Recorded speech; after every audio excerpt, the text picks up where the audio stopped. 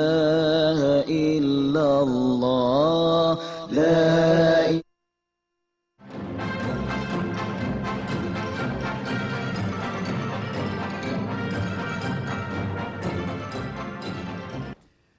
Tonight we are privileged, and I know you who have arrived early have been privileged to hear Brother Muhammad Mubarak reciting the Quran.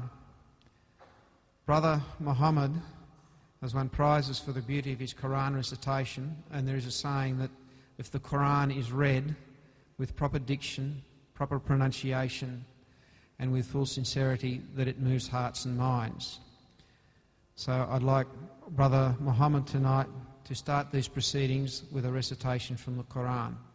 Jazakallah, thank you.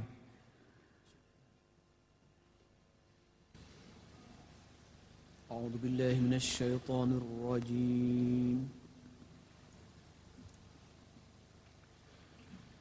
بسم الله الرحمن الرحيم.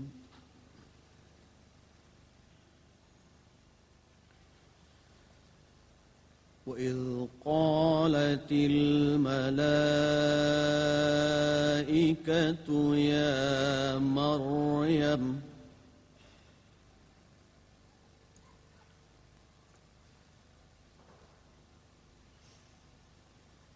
يا مريم إن الله اصطفاك وطهرك واصطفاك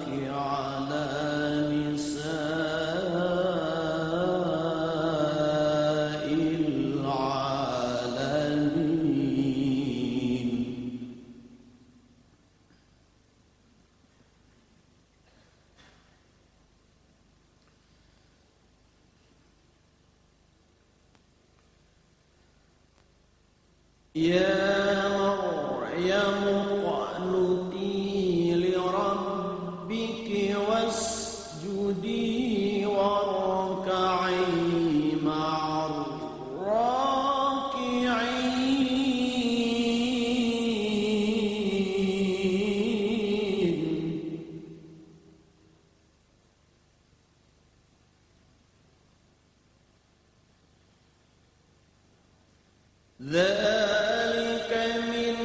أن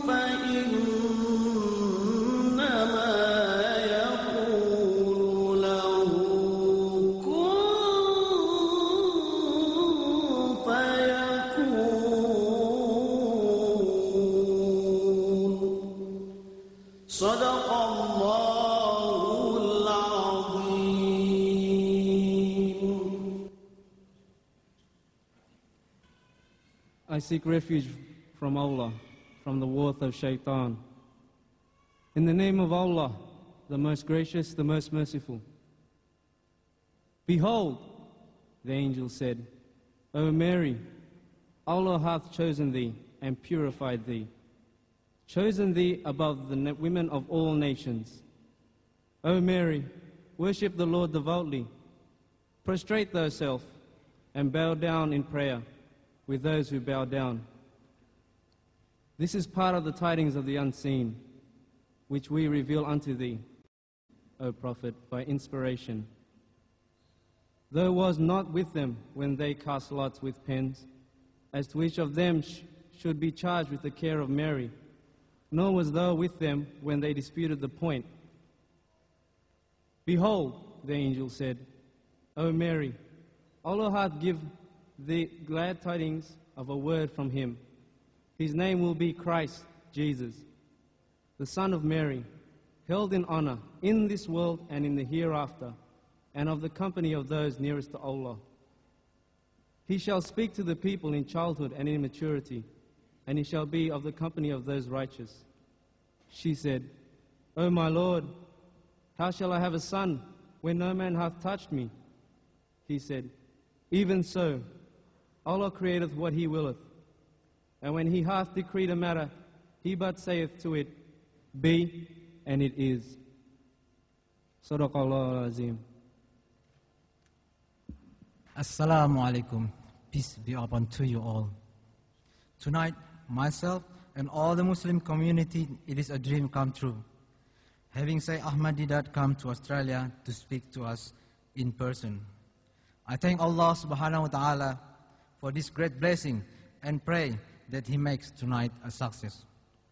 The Sheikh's visit and tonight's lecture would not have been possible without the support of many people. Some of the costs of this tour are to be made by the Center for Islamic Dawah and Education.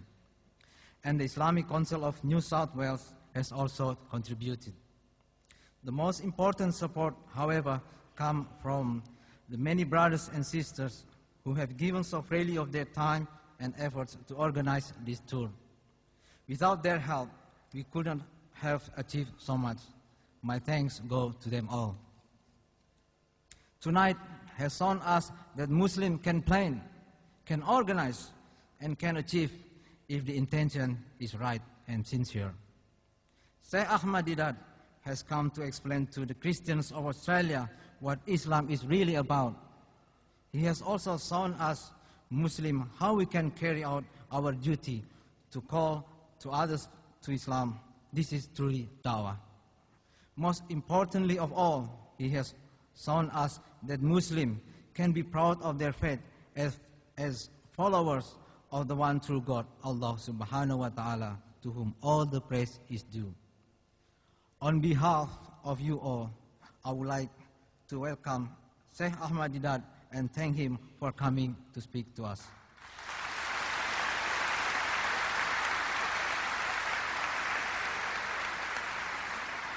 Ladies and gentlemen, brothers and sisters, please welcome Sheikh Ahmad Deedat.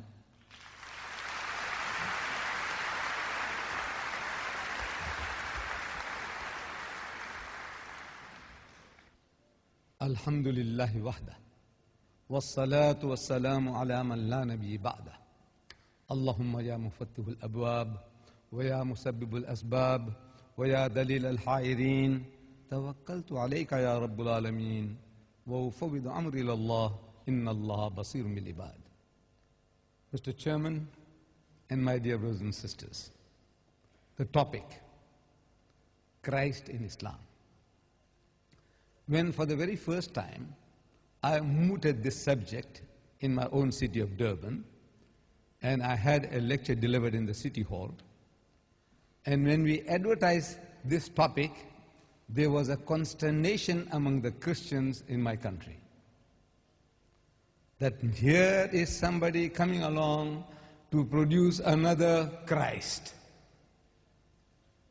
And at the very beginning of my talk in the city hall, I had to assure that part of my audience who were Christians that we Muslims have not got another Christ. There is only one Christ, and that is Jesus Christ. I had to assure them, calm them.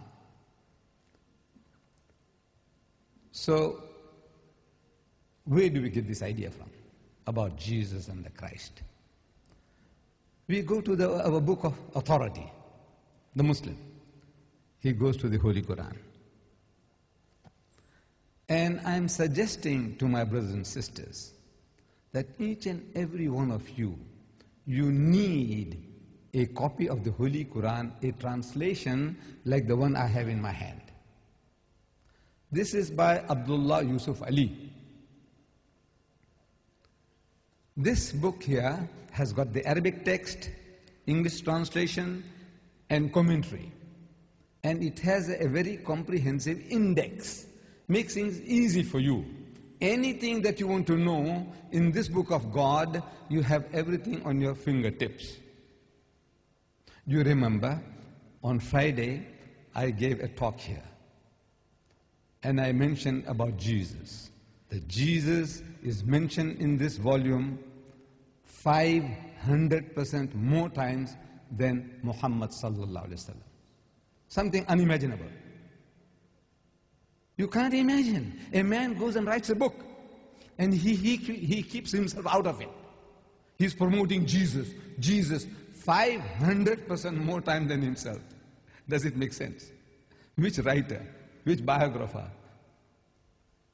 authority writer will do a thing like that? No, no. This is not his work. If it was his work, then naturally he would have promoted himself. But now I said 500% more times. You remember that? Those of you who were here. Can somebody give me the figure? How many times is Jesus mentioned in this book of God? Please put up your hand. Don't shout. Just please put up your hand. I want you to present you with a book. How many times is Jesus mentioned in the Quran? Yes, my child. You, huh? Huh? 25 is right. Is mentioned in the Quran five times total. Four times as Muhammad and one time as Ahmad, which is an, an alternative way of naming of the Prophet. Altogether, five. Jesus, 25. Amazing, this book. Now, where are you going to find this? In this encyclopedia of 2,000 pages, you're going to start paging through, hmm, looking for Jesus, Jesus, Jesus, and you might have missed them all. All 25, you might not have come across a single one of them. No, what you do is you go to the index. At the back of this volume, there's a very comprehensive index. You go to the index, and just like a dictionary, look for Jesus and the J. Everything about Jesus in the Quran on your fingertips. I'm opening the index. Starts the first item, the first item, Jesus, under the heading Jesus, a righteous prophet. He's a true prophet of God. Chapter 6, verse 85. Second item, his birth, mentioned in two places. In Surah Al Imran, chapter 3, ayah 42 onwards. Chapter 19, verses 23 onwards. And on and on and on. Everything about Jesus on your fingertip. You don't have to start fumbling through, paging through, looking for Jesus or for Muhammad or for Moses for that matter.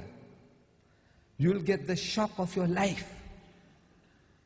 When I tell you this another mighty messenger of God, Hazrat Musa alayhi salam, we call him Moses, the holy prophet Moses. I can't imagine anybody guessing. How many times is he mentioned in this book? The prophet of the Jews. No, no, he's our prophet. But the so-called, they say he's the prophet of the Jews. All right, the prophet of the Jews. How many times is Moses mentioned in this book? I don't know what to give you. This book is too little. Anybody can tell me, or anywhere near enough, Moses. How many times is Moses mentioned in this book? Huh? How much? 52. Anybody else? Not likely. I will give you this Quran at the end of the talk. If you can give me anywhere 10, within 10 of that number, within 10. Forget, forget the exact number. Please don't shout. Just put up your hand. You. Huh? A hundred times. You. Huh?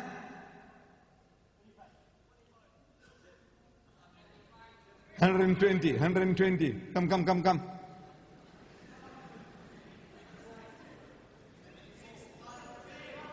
No, it looks like I'll have to take this Quran back home to South Africa. 136 times.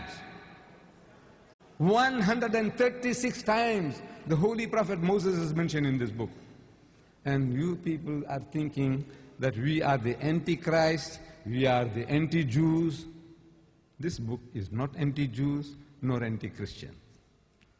You are misjudging, doing injustice to this book. Obtain a book. Muslims and non Muslims, you need this. You need this. To the Christians, I say, even if you want to fight the Muslims, you need this book. Because this book will tell you now how the Muslims are thinking. So you can plan your strategies. If you know the man's book,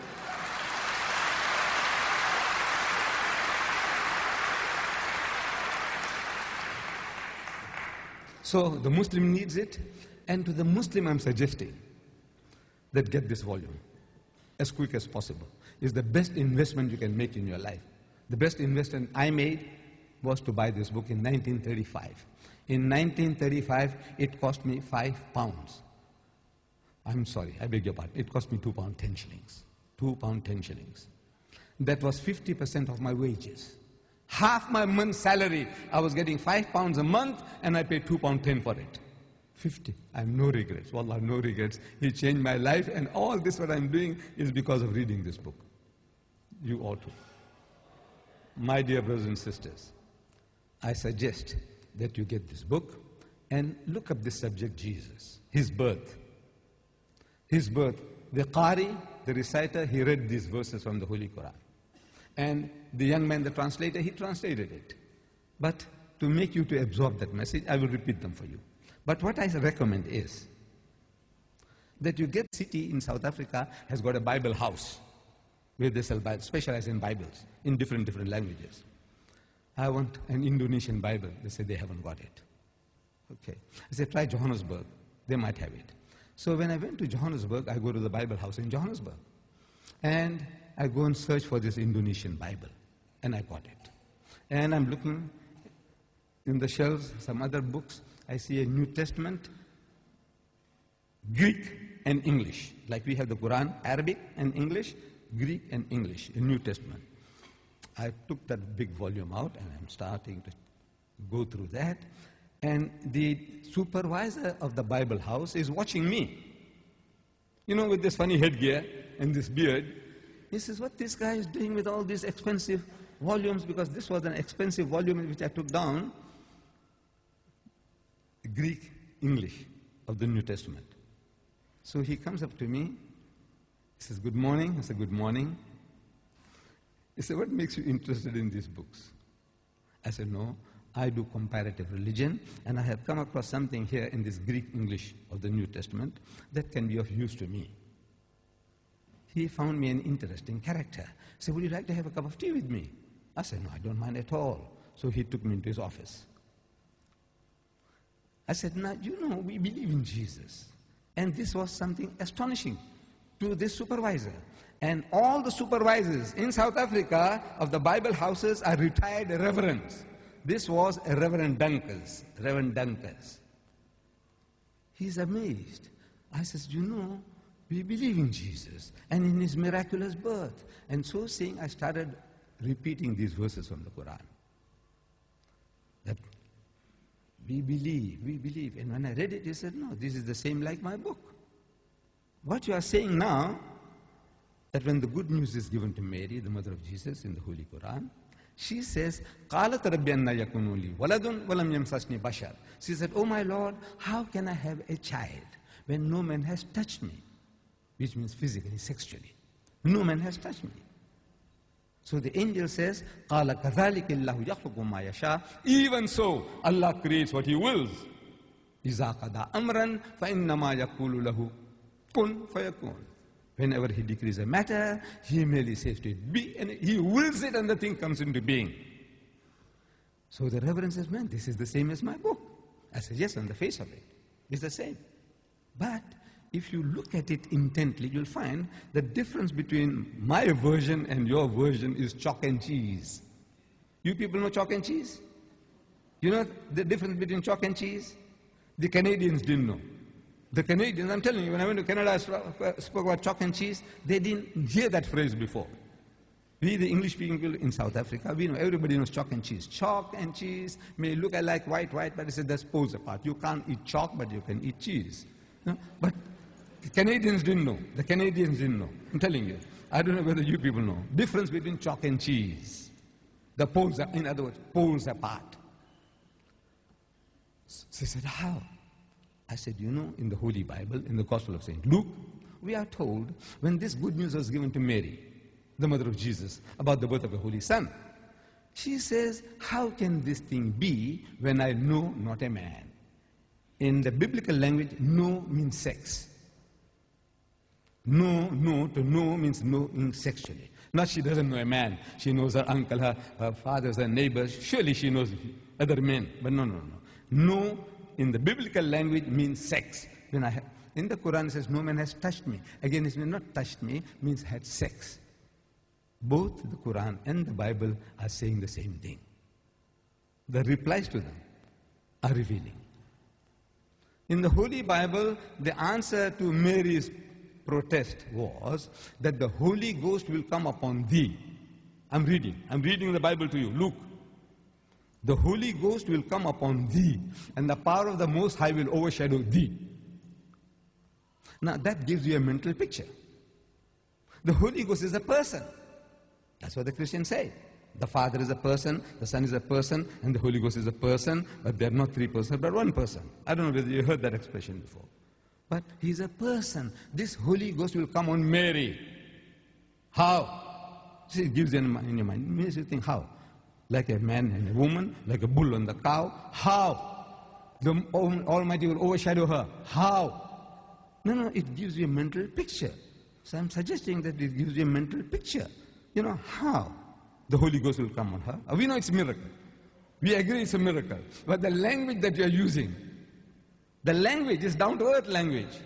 The Quran says, وَإِذَا قَضَى أَمْرًا فَإِنَّمَا يَقُولُ لَهُ كُن فَيَكُونُ For God to create Jesus without a human father, he says, kun, he says, be, and it is. For him, it's just to will it, and he comes into being. So I'm asking the Reverend. I said, now between these two versions, we are both try, trying to say the same thing. We are both trying to give the same message that he was born miraculously. There's no doubt about that. But I said, which version which would you, would you prefer to give to your daughter? The Quranic version or the biblical version? We are both trying to say the same thing. He said, he bowed his head down in shame and he said he would prefer to give the Quranic version. This is Reverend Dunkers, the head of the Bible Society in Johannesburg.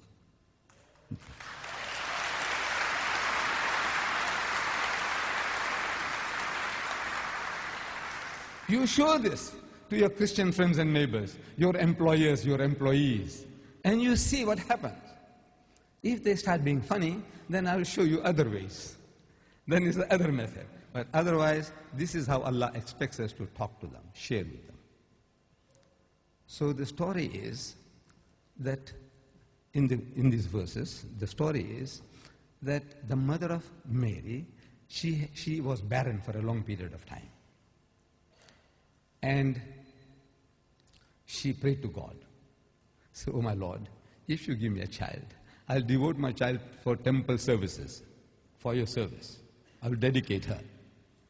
And God heard her prayer, and she became pregnant from her husband. And in time, she delivered the child. And the child happened to be a female. And she was disappointed. She had vowed that that child she will dedicate, imagining, thinking it will be a son, a male. But it happened to be a female. What is she to do? She had vowed.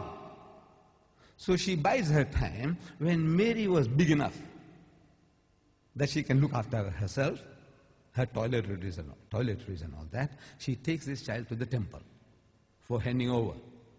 And the priest in the temple of Jerusalem, they're seeing this beautiful child. Everybody wants to be a godfather. You know, godfather?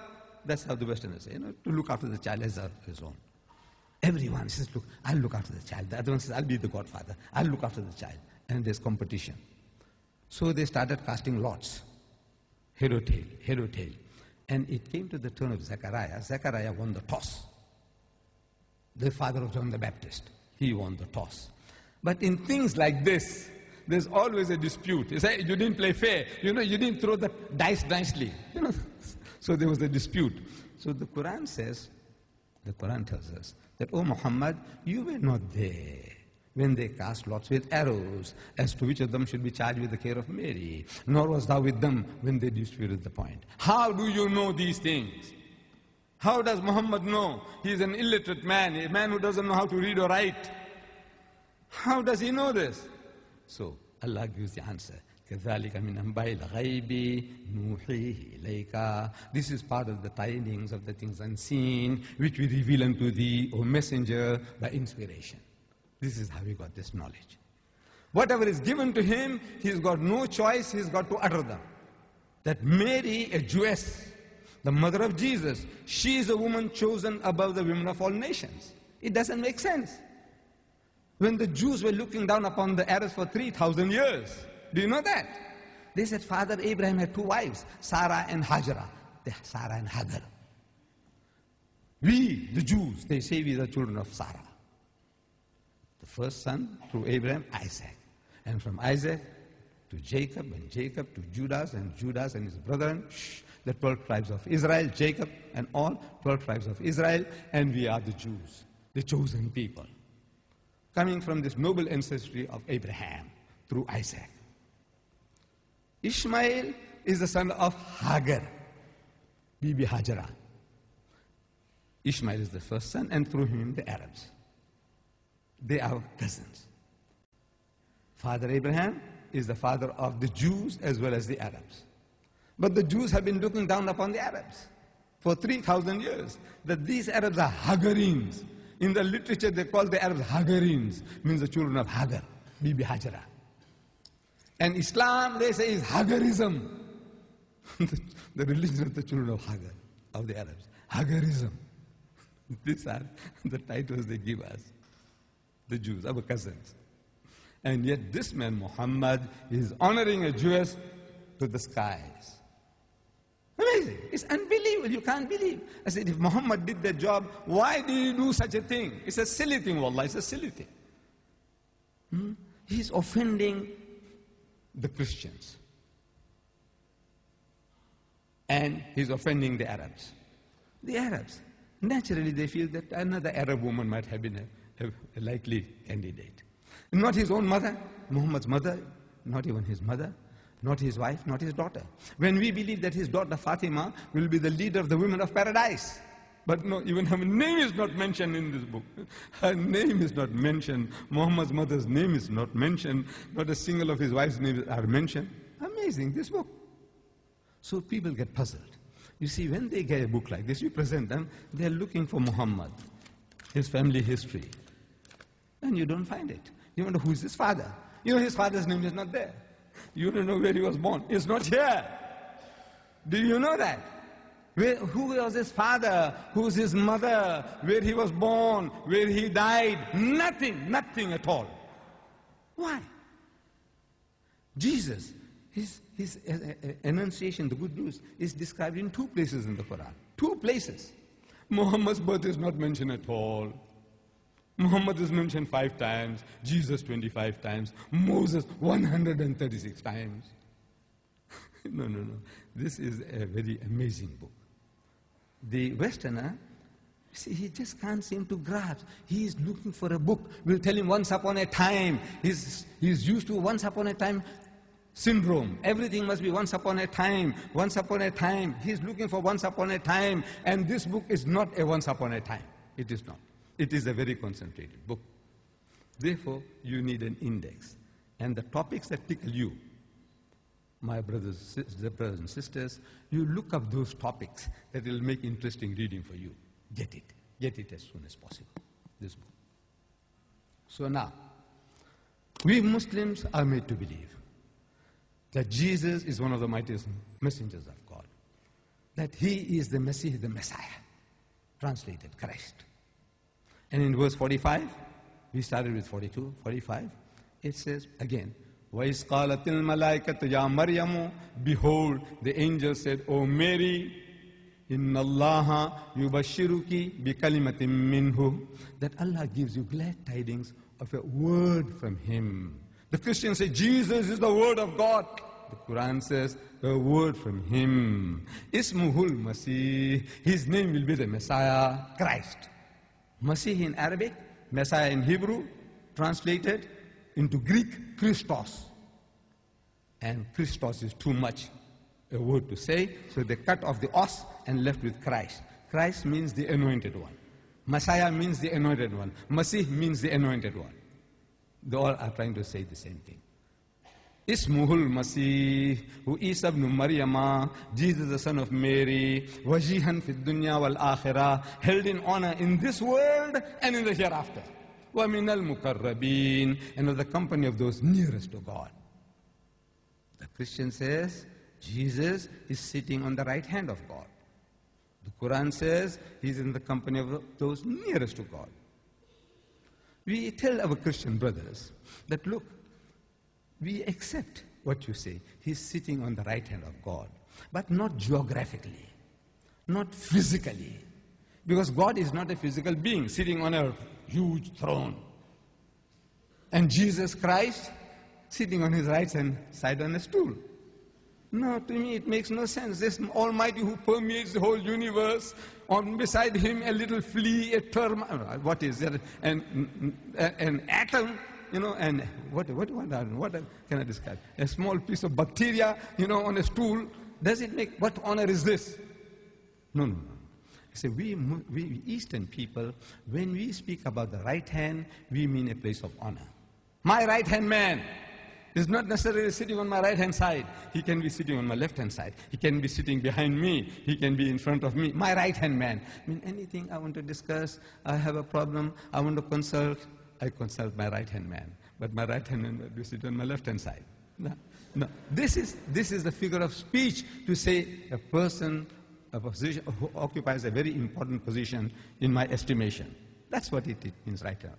So we say right hand, yes. Sitting on the right hand of God, not physically, not geographically, but in status. He doesn't have to sit on the right hand side. So now these are difference of seeing at the same thing through different light. You don't have to accept our interpretation. You, they don't have to. But you say, now look, this sounds more reasonable to say that he occupies a very, very important position. And وَيُكَلِّمُ النَّاسَ He will speak to the people فِي الْمَهْدِ وَقَحْلًا In childhood and in maturity وَمِنَ الصَّالِحِينَ And he shall be of the company of the righteous. This is Jesus. He will speak in childhood and in maturity and he will be in the company of the righteous. This is again confirmed in the Quran. The statement is made in chapter 3. In chapter 19, it's being confirmed that he spoke to the people as an infant in his mother's arms. The very first miracle of Jesus in the Holy Bible. You find that in, in the Gospel of St. John, chapter 2. That Jesus and his disciples and his mother were invited at the marriage feast at Cana. Cana is the name of the place marriage feast at Cana. The very first miracle of Jesus, according to the Holy Bible. He is invited at the marriage feast at Cana, and the people run short of wine. So his mother comes to him. John, John, chapter 2, I'm reading to you. His mother comes to him and says, Son, look, these people have run short of wine. I know in the back of her mind, says, I know you got mysterious powers, you know. You can help them to solve the problem. This is the plea made by his mother. And Jesus responds. He says, Woman, woman, what have I to do with thee? Woman, what have I to do with thee? My time is not yet. Now, if you don't want to do a job, Man, there's a nicer way of telling your mother, I says, Ma, look, I'm tired, leave me out. You don't have to address your mother as woman. That's the word is used for a prostitute. No, no, this same book now, the word woman he uses for a prostitute. That woman caught, caught in the act of adultery. In the Bible, you read John chapter 8. A woman. So the Jews bring this woman to Jesus. They said, Master, we caught this woman in the act. What must we do to her? Actually, they're trying to trap him. They're not looking for an answer.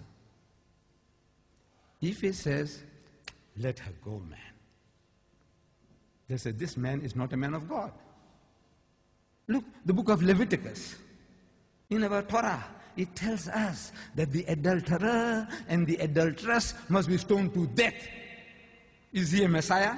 Can he be the man of God? He says, let her go. He's rejected. If he says, stone her, they'll kill her. And adultery was not a capital crime in the Roman Empire.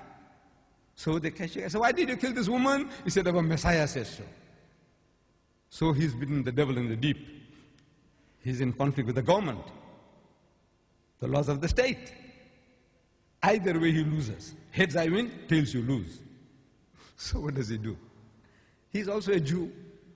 Look, these are Jews, are geniuses. I'm telling you. No, no, they are our cousins. You know, they always beat us, you know that. They always got one on us. You know, you go into an agreement hmm, that, you know, we, resolution, but 342 or 4, 424. Mhm. This is now they're going to uh, let go the, the occupied territories for peace. Occupied territories. So now they said, right, we move this to, for you to implement your, your part of it. He said, no, you haven't given up the occupied territory. Said, no, we didn't say the occupied territory. In the resolution, it said occupied territory. So this piece here, is, is it not occupied territory? Yes.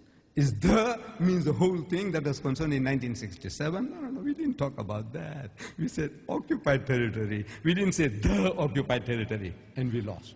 We lose, I'm telling you.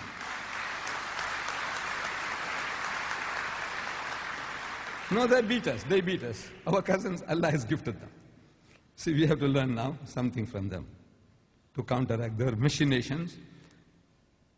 It says, "Man ta'allama lughata qawmin amana sharrahum." If you know the language of a people, you can avoid their vials and their machinations. We don't. We are not equipped to really to give battle, an intellectual battle to the Jew. We are not equipped yet. However, that's besides the point. So,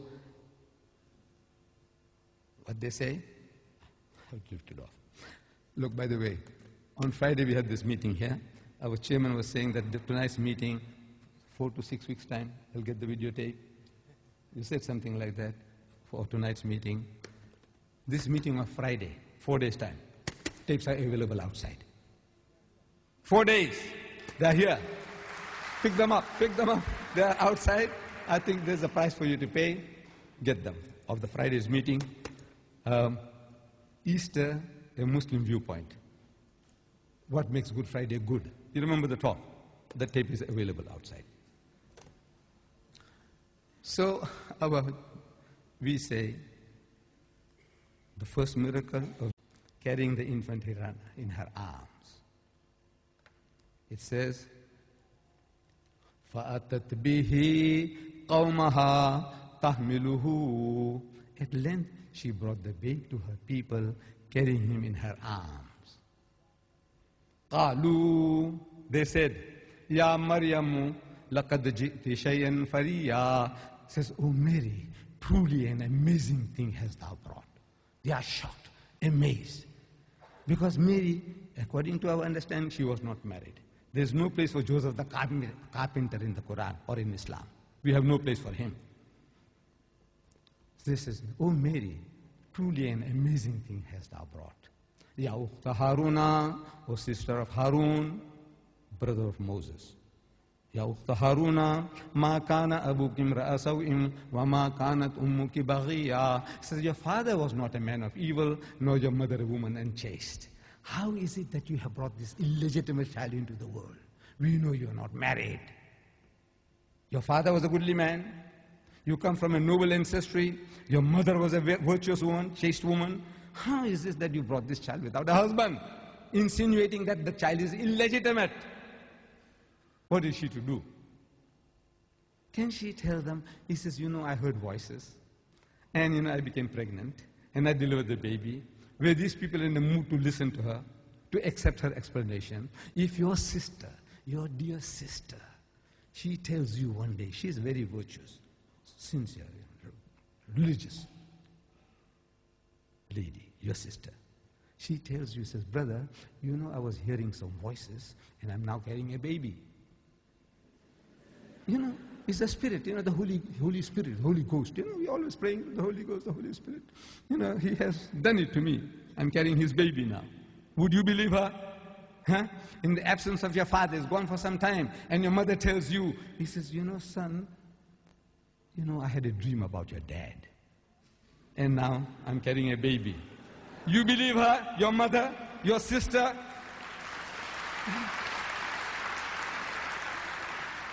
Were the Jews in a mood to listen to her explanation?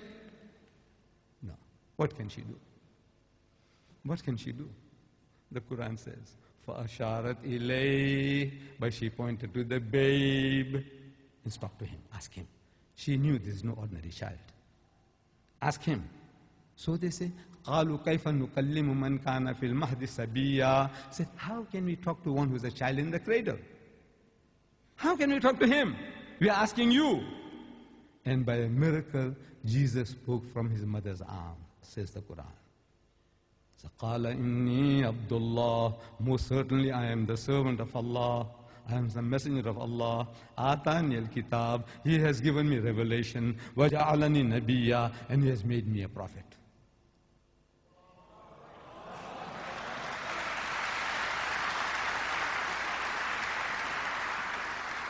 As an infant, he defended his mother from his critics. Those who were having throwing aspersions at his mother, he defended his mother. The first miracle of Jesus in the Quran is that, that as an infant he defended his mother. Now I say, take the choice. You prefer that miracle where he turned water into wine as the first miracle, or this miracle as an infant he defended his mother. You, your choice is yours. The Muslim is only presenting. I said, look, this is our, our, our concept of what Jesus is. And he is the Messiah, Masih. The Quran said, I read it to you, chapter, verse 45, chapter 3. So, وَإِذْ قَالَتِ الْمَلَائِكَةُ يَا مَرْيَمُ إِنَّ اللَّهَ يُبَشِّرُكِ بِكَلِمَةٍ مِّنْهُ God gives you glad tidings of a word from Him. Ismuhul Masih. His name will be the Messiah, Christ. His name will be the Christ. We Muslims believe that Jesus was the Christ. We have no other Christ. Have we? Have we Muslims got another Christ? No. The Quran says, He is Muhul Masih. His name will be the Messiah, translated Christ. And the Bible tells us, the Holy Bible tells us, He gives us a test. How do we know a true prophet from a false prophet? The first epistle of John, there is a Gospel of St. John, that's one thing, and there is an epistle of John. First epistle of John chapter 4, verse 1. It says, Beloved, John is addressing, Beloved, believe not every spirit, but try the spirits whether they are of God. For many false prophets have gone out into the world. I'm only reading the Christian Bible, the first epistle of John, chapter 4, verse 1. Beloved, you people, my beloved brothers and sisters. He says, believe not every spirit. Don't believe every Tom, Dick, and Harry, what he comes and tells you. Don't accept it. Believe not every spirit. But try the spirits whether they are of God. For many false prophets have gone out into the world. The false prophet is a false spirit. The true prophet is a true spirit. The word prophet and spirit are used synonymously here. Don't believe any spirit. But try them whether they are of God. For many false prophets have gone out into the world. How do you know a false prophet? He's got a false spirit. How do you know a true prophet? He's got a true spirit. That's how you, if he's got the true spirit, he's a true prophet. He's got a false spirit, he's a false prophet. How do we know the true from the false? Verse 2. He says, The prophet that confesseth that Jesus is the Christ is of God. Your Bible, your Bible, he said the Spirit means the prophet that says that Jesus is the Christ, he is come in the flesh, that is come is born on earth, he is a true prophet. The prophet that confesseth that Jesus is the Christ is of God. I said, eh, why don't you apply this test to Muhammad?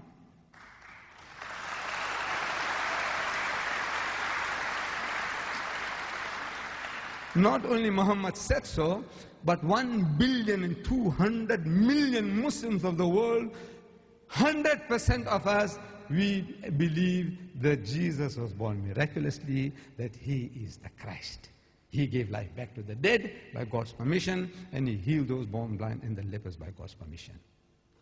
And now, yet they consider us to be the antichrists. What we have to do, we have to educate them, inform them. But before we do that, we have to educate ourselves. And to educate ourselves, we need this book. Imperative that every Muslim, you have this book. And if you can afford to have two, get two and present them to your Christian friends. Your neighbors, give it to them. Wallah, give it to them. Your employers, give it to them. Your employees, give it to them. He says, look, this is the Holy Quran. Please respect it. This is how we use this.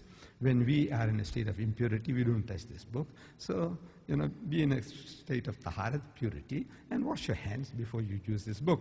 Give it to him. Give it to him or to her and let Allah do the rest. Let Allah speak to him, to his heart and mind. You can't do a better job. Use Allah's kalam, his words. Let Allah do the talking. And you can't find a better advocate than Allah. وآخر دعوانا أن الحمد لله رب العالمين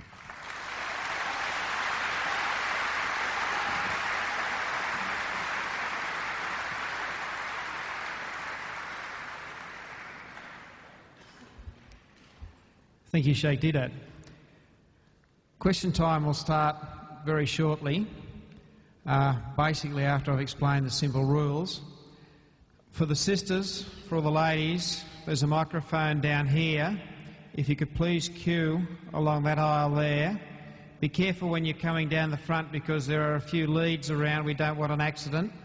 The same thing applies to the men. There's a microphone over there for you. If you could queue over in that area there, it will make things a lot easier for everybody.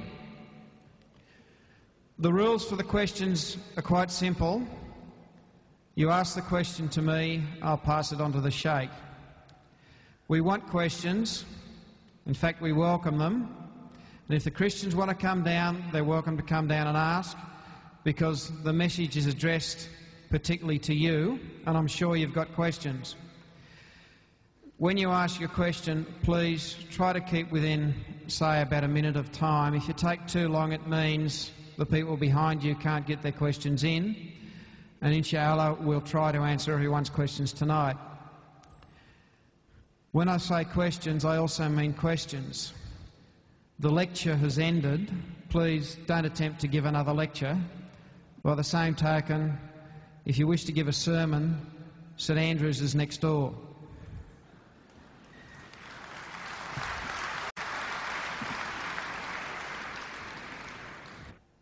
First question, brother.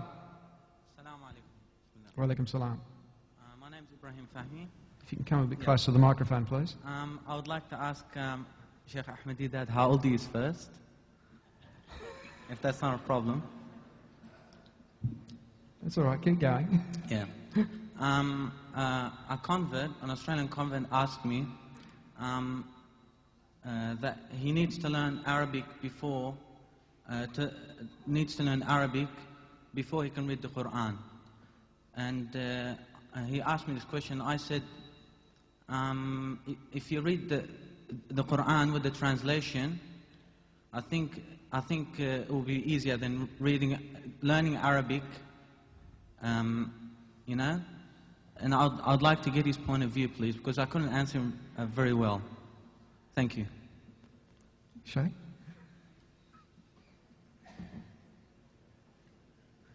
Well, to confess, I myself, I don't know Arabic. I'm telling you honestly. You see, I know a few words of Arabic. When I go among the Arabs, if I want water, it says ma, ma, moya. I know the word means water. But I can't say, can you please give me a glass of water? That I can't say. But I can say ma, ma, moya, moya, and the guy knows that I want water. He, he tells, He tells me, Kaifa haluka? I said, Tayyib, alhamdulillah. And my Arab, Arabic ends there. But look, I see that it doesn't debar me from understanding Islam. I understand the Quran through a translation. When you listen to me, that I'm able to read the Arabic and give you the translation is not that I know the language, but because I as what I was suggesting to my sisters. I said, learn the verses in Arabic and learn the meaning, memorize it. What I'm telling other people, I do it myself. I memorize the verse with the meaning, so I'm able to quote you with the meaning. That is all. So, Wala takulu salasa, so don't say Trinity. I memorize the meaning.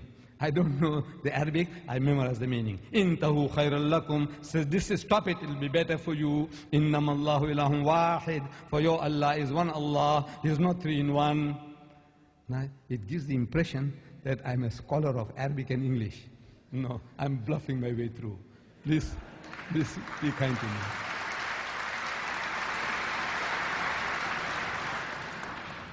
You may have guessed by the familiar accent that I'm a convert. I don't read Arabic either, and the message is still there and it's still beautiful. Okay. We have a sister who's plucked up the courage. Sister, your question? Assalamu alaikum. I'm a convert too, and um, I come from an Arab country. And every time you have an argument with a Christian, they tell you, um, what does the ayat says, Salamun alayya yawma wulidtu wa yawma amutu wa yawma ab'athu hayya. That means um, Jesus born and he's, you know, dying and, you know, he's going to raise back up. And that's what um, Easter was for. Um, so how can you answer them back when it says Salamun alayya yawma wulidtu wa yawma amutu wa yawma ab'athu hayya. So when did he die? And that's what they argument about all the time. Thank you.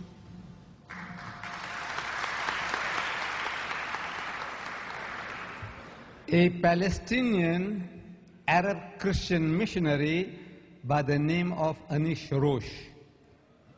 He, he posed this question to me in the Royal Albert Hall in London. He's an Arab. He's boasting about his knowledge of Arabic. He's an Arab. I am not an Arab. I'm a Hindi, an Indian. And born into a Muslim home and came into contact with this translation and this book, and I speak and I deliver messages as I understand. So this Christian missionary, a Palestinian Arab, he quoted this ayah. So the Quran says, and in his own pronunciation, a real Arab. Does it contradict itself in as much as it says, okay.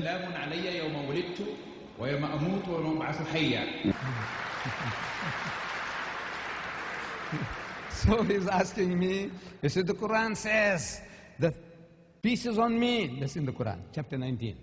So peace is on me, the day that I was born, the day that I died, and the day that I shall be raised to life again. So here it is in the Quran. He says, Christ died. So what have you to say, Mr. Deedat? So I stood up, and I know these few words, only a few words. So I said, you see, you, what you're doing, you're mistranslating. Wasalamun alayya. You translated right. So peace is on me, Jesus says. Wasalamun alayya. Yawma wulidtu, the day that I was born. Wa yawma amutu, the day that I die. Not died, not died, the day that I died, the day that I die. Die, you know, part in the future tense. The day that I die, and the day that I shall be raised to life again.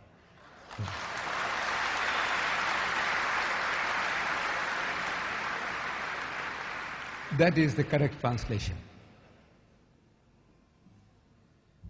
Thank you, sister. My question's been answered too. I see that, that uh, our sisters are still shy, and it looks as though the Christians are still uh, letting the message sink in. We'll go to this brother here. Assalamu alaikum. Um, Walaikum salam. thank you very much for your speech. Again, it was good. Um, in your other speeches of Christ and Islam, you've given us examples how we Muslims follow the example of Christ. I found another one which I haven't heard you say before. In Matthew chapter 5, verse 29, it says, If your right eye causes you to sin, pluck it out and cast it from you. For it is more profitable for you that one of your members shall perish than for your whole body to cast into hell. And if your right hand causes you to sin, cut it off and cast it from you, for it is more profitable for you that one of your members perish than for your whole body to be cast into hell. I'm asking if why are the Christians attacking us for cutting the hand when Jesus is telling them to do that?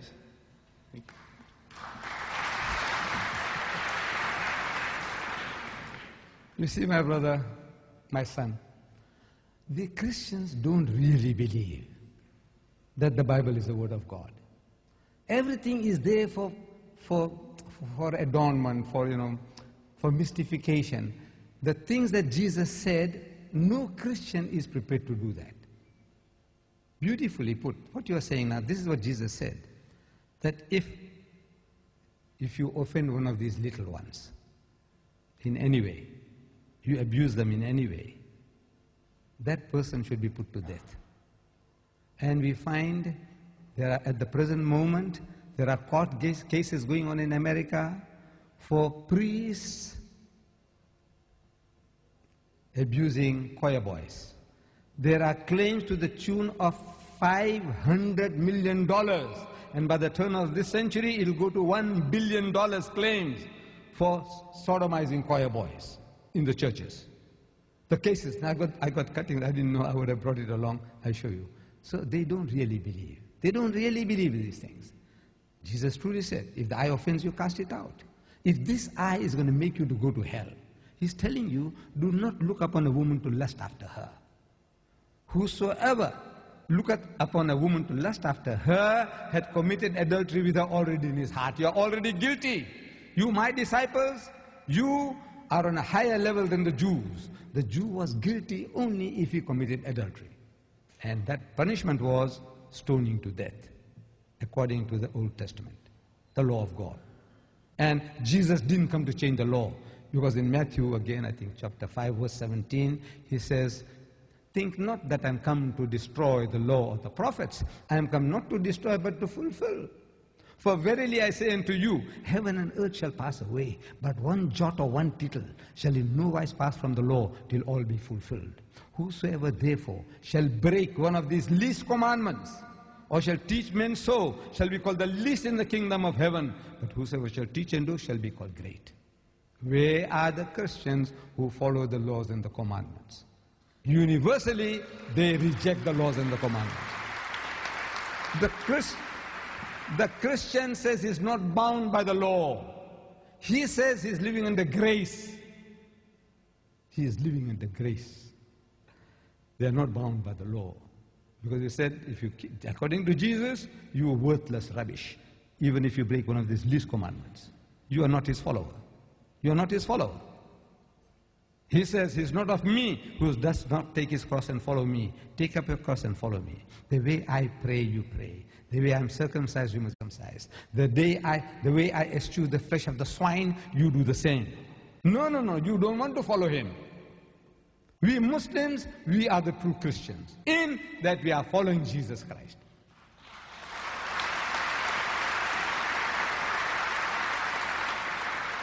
No, but now when we say that, the Christians say we are attacking them. We are attacking them. I say, I'm only presenting to you the case is in daylight. It's a daylight. It's an open secret. What's going on? In the churches, what's going on? The priests, what are they doing? The Anglican Church has just written a new Ten Commandments. Do you know that?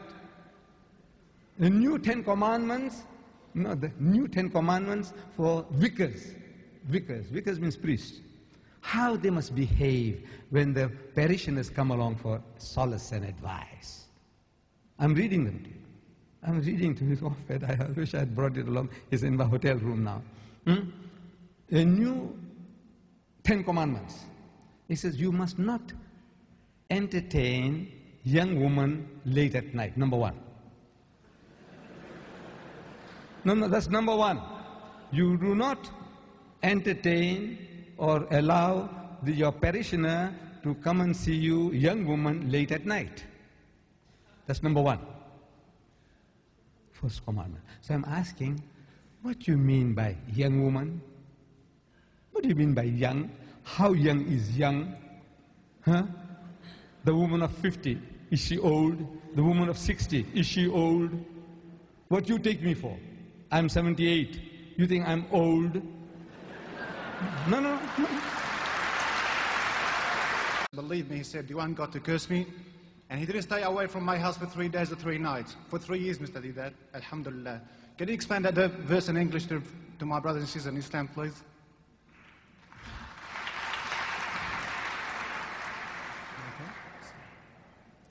This verse, I think the occasion of the revelation is that the Christian deputation had come from Najran. And the Holy Prophet Muhammad accommodated them in the Masjid al-Nabawi, in the Mosque of the Prophet. At that time, a very humble structure. You know, mud walls and thatch roof. They lived in this masjid for three days and three nights. They ate there, they discussed the religion there, and they slept there. And when Sunday came, it happened to be, our Nabi Kareem he offered them the, the masjid for their prayers. But during the course of this discussion, it ended off badly. They started accusing the Prophet of lying, lying, that you know what you're saying is a lie, it's a lie.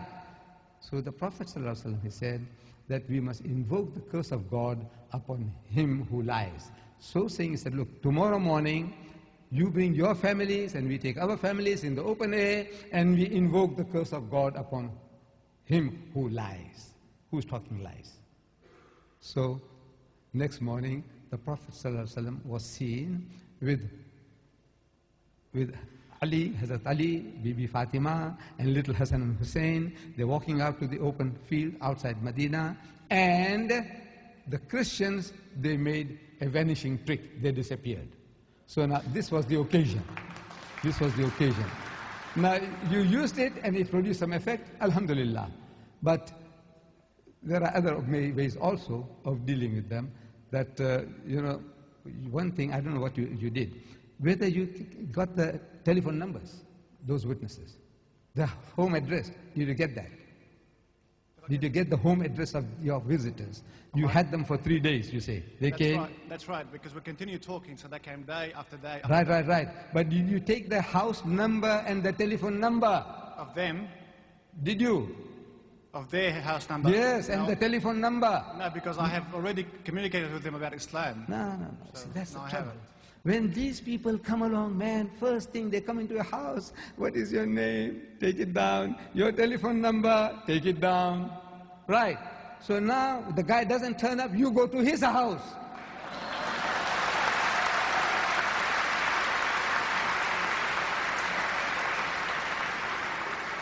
and and pester the life out of them. I'm telling you.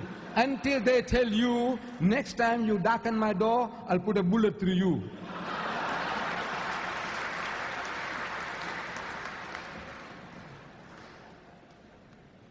I think we might go to a question over here. It's probably better. Salam alaikum. Uh, my name is Hamza. Uh, my question, uh, Sheikh Ahmed. Sheikh Ahmed say, uh, Jesus is, is not dead. We know about it. But who was nailed to uh, cross?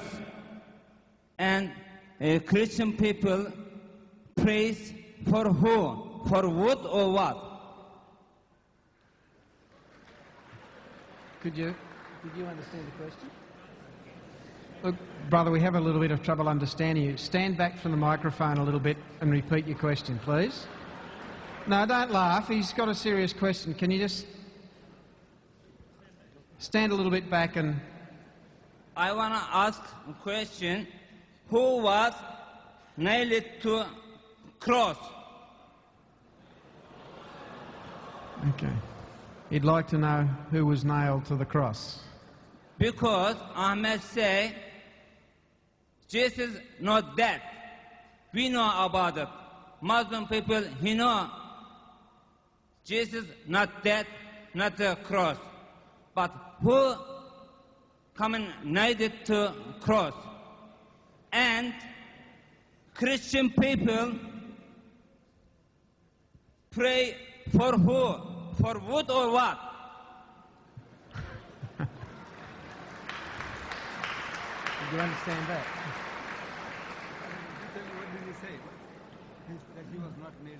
The, the gentleman would like to know the Christian people say Jesus was nailed to the cross, Muslims say Jesus was not.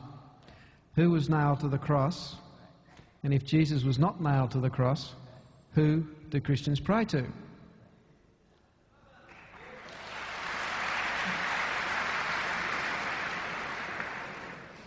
See, the Muslim position is very clear. In Surah Ma'idah, chapter 5, 1, 157, Allah says, وَقَوْلِهِمْ إِنَّا قَتَلْنَا الْمَسِيحَ Isa ibn Maryam Rasulullah. And they said in boast that they killed Christ Jesus, the son of Mary, the messenger of God. In answer to that, Allah says, وَمَا قَتَلُوهُ وَمَا صَلَبُوهُ That they didn't kill him, nor did they crucify him. وَلَكِنْ شُبِّهَ لَهُمْ But it was made to appear to them so. وَإِنَّ الَّذِينَ اخْتَلَفُوا فِيهِ لَفِي شَقٍ مِّنْهُمْ And those who dispute therein are full of doubts. مَا لَهُمْ بِهِ مِنْ عِلْمٍ They have no certain knowledge. إِلَّا اتِّبَاعَ الظَّنِّ They only follow conjecture, guesswork, fiction. وَمَا قَتَلُهُ يَقِينًا For of a surety they killed him not. Bal rafahu Allah ilayh, but Allah took him up to himself. Now that's what I believe. But now, but now when the Christian comes along, and he said Christ died for his sins, then I says now, kul. Allah says, ask him for his burhan. And he produces Burhan the Bible, then I deal with the Bible according to what he says. And I prove to him that whatever you say, even if it happened, Christ didn't die, and so there was no crucifixion. And that I was proving to you on Friday. Were you here on Friday? Friday night, Good Friday, were you here? Were you here on Good Friday? No, no. Then you buy this tape and it'll give you the whole story. This tape outside, you buy this.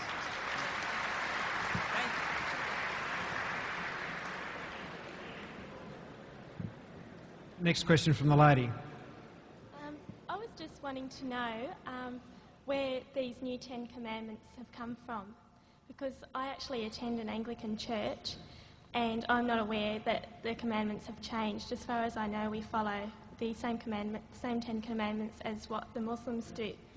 I was just wanting to know um, where this has come about and um, when it's supposed to be introduced because I, I haven't heard anything of it yet.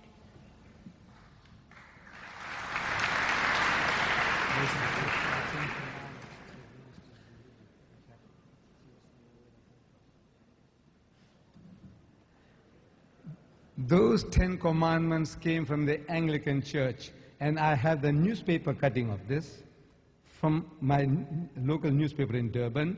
And if you don't, if you like, you can come to my hotel, and I will show it to you.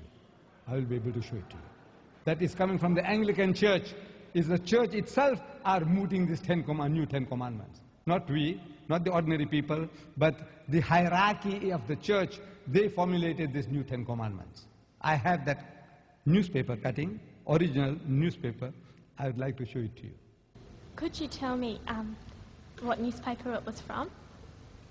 Was this from a newspaper in Australia or No, no, in England. In England. In England, well, it starts from there, then it will come to Australia as well, I take it.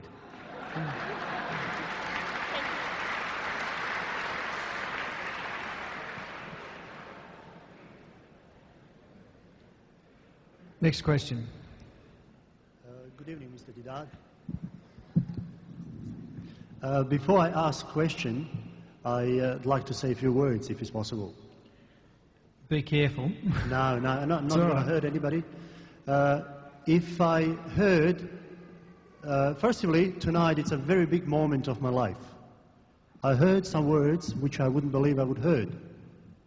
Uh, if I, 10 years ago, or say 15 years ago, spoke with the majority of Muslims, I would have, if I asked them, do you believe Jesus, in Jesus Christ? The answer would be no, by majority.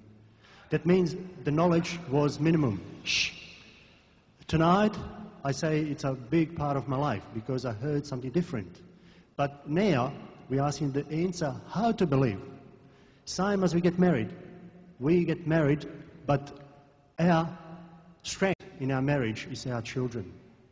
That means if we get married and if we have Christ in our life, we're asking what Have you should got- we have? Have you got a question, or is yes, a, just finish in, a minute, finish in a minute. The answer is without being baptized, we can believe we don't have Christ in our life. Thank you. Now, question is in Quran, where Quran in Surah 19, chapter 33 and 34 says, Peace on me the day I was born, and the day I die, and the day I shall be raised alive. Such was Jesus, son of Mary. Can you give me the answer of that? Because they said he be raised alive. If he's raised, he'll come back again. That Quran says, not me. Okay, well, thank you for your sermon first.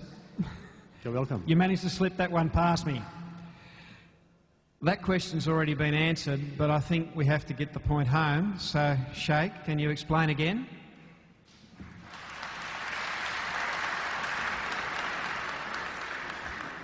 we believe that God took up Jesus alive. He's still alive. And he's going to come back alive. And he's going to die like everybody else. And he will be resurrected like everybody else. So, peace is on me. The day that I was born, you know when he was born, the day that I die. No, no, no, please, please, please. I don't want you to shout, man. Please, yes. Huh? Huh? Muhammad. Hmm? Not that. No. Come on, come on, my sisters. Yes. Are you referring to Melchizedek? Huh? Are you referring to Melchizedek? Melchizedek. Yeah, but he's not greater than God. He's not greater than Jesus. But Jesus is who the is that person whose birth is superior to Jesus? Birth, his coming into the world and going out of the world is greater than that of Jesus Christ. No one. No one. So the,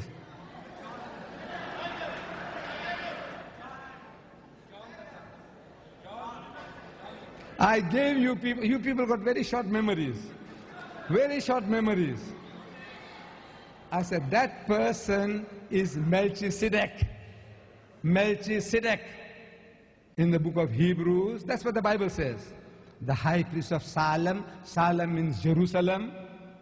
He was a high priest, the Bible says, without father, without mother, without beginning, without end. Can anything be greater than that? Just like God, man, the only one who's got no father, no mother, no beginning, no end is God. And here is the high priest of Jerusalem, Melchizedek, in your Bible. That is the God you should be worshipping, not Jesus. Look, Jesus had a mother. Jesus had a mother. She carried him for nine months. She delivered him. And on the eighth day he was circumcised, like any other human child. Right? When he was eight days old, he was circumcised and named Jesus by the angel when he was in his mother's womb. So he was in his mother's womb, like any other human child. That's Jesus. This man, Melchizedek, no father, no mother. Look, he had no mother even, no beginning. Jesus had a beginning in the stable. No? He had a beginning in the stable. You say that he was born in the stable. He had a beginning. And on the eighth day he was circumcised. So you can see the happening. His mother carried him for nine months. After delivery, eight days time he was circumcised. And at the age of 30, they say they knocked hells into him and they crucified him. He had an apparent end. He had a beginning and he had an apparent end. This man Melchizedek, no father, no mother, no beginning, no end. He is like God himself, man greater than Jesus in your Bible. Worship him. He deserves to be worshipped.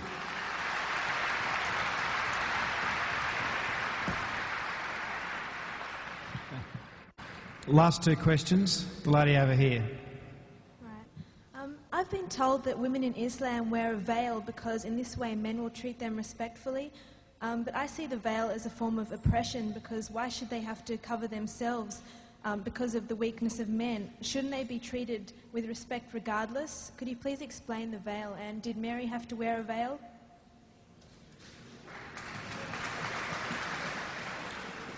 Madam, Madam, your Bible says, your holy Bible says, you know, Paul, Paul, Paul is telling you that the woman must cover her head, that the woman who doesn't cover, shave off her hairs. Your Bible says that.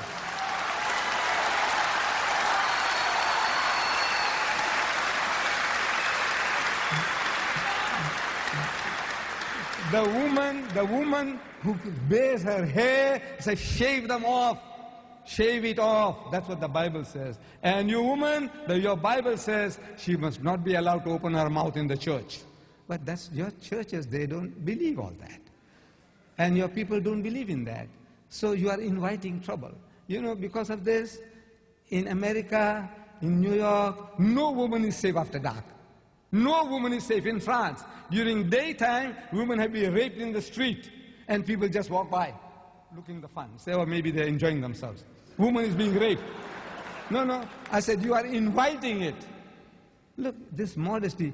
The nuns, the nuns, you know, the nuns, Roman Catholic Church. Nobody gives them a second look.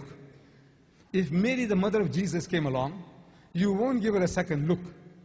But my dear sisters, those women on your Gold Coast at Scarborough and all that with bikinis and tangas and G-strings, look, sure.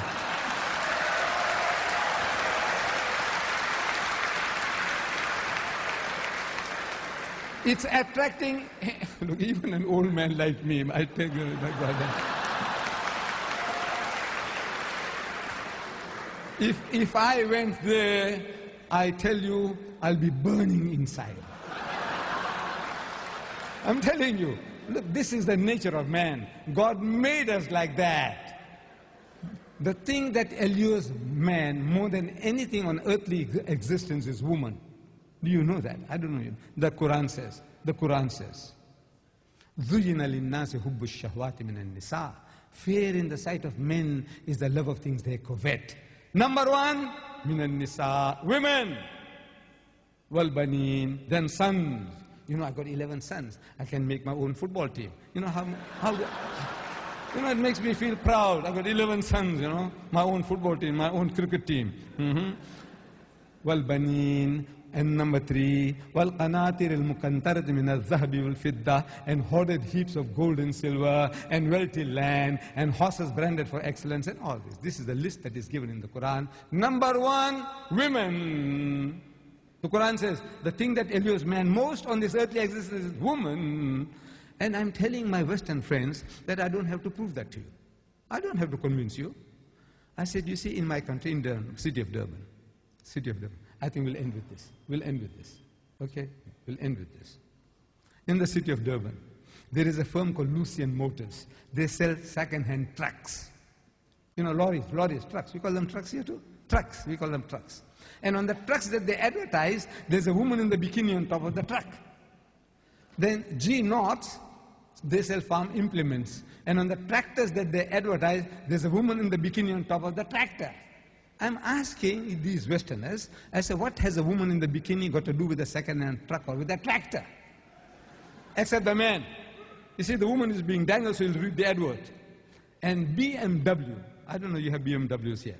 It's a motor car. It's a motor car supposed to be a little better than the Mercedes Benz. I'm not in the market for it. You see, I started with the Volkswagen Beetle. I did 120,000 miles, and I had to change for another Beetle, and another Beetle, and another Beetle. Then they stopped making the Beetle. You know, the Volkswagen Beetle. They started the Golf. So I had to buy Golf number one, Golf number two. I'm still not in the market for a BMW. But I'm forced to read this advert. In my newspaper, I see a BMW motor car. And with a woman in the skimpiest of bikini, what you call the tanga, you know, the G-string. She, she's standing in front of the motor car, and it's, it's written at the bottom, test drive her now.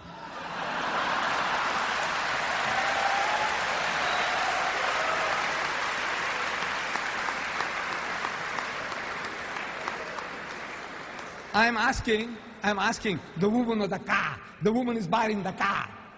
And her is underlined. Test drive her now.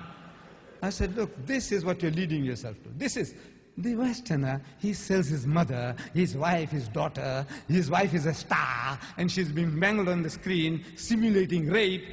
And they, they enjoy it. You, you enjoy your wife being simulated. It's not real rape, but you know, it's simulated. You can see everything about it. She's being raped, your mother, your wife, your daughter, and you enjoy your wife is a star.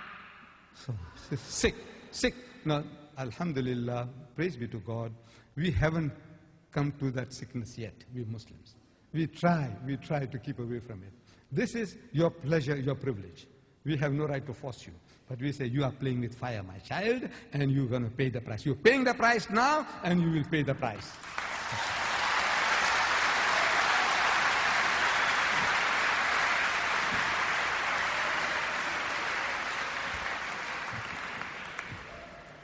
Well, I'm afraid that brings tonight to a close.